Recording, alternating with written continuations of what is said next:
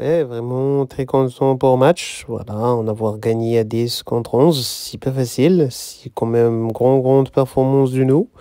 Même si, voilà, la match, elle a voir mal commencé. Donnarumma, elle a fait la reprise de Jean-Claude Van Damme. Je sais pas ce qu'elle a fait. Elle est partie mettre un coup de pied retourné en l'air à 45 mètres de hauteur à l'adversaire. Elle a voulu découdre avec lui. Elle a voulu lui montrer comment si grand spécialiste des arts martiaux.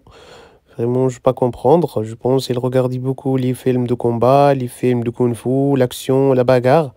Je pense qu'il est devenu beaucoup fou. Il regarde beaucoup la violence, il ne regarde pas si la football. Je voulais parler avec lui. Mais en tout cas, nous quand même maîtrisé la situation. Mbappé le marqué, Vitinha le marqué, on le gagné.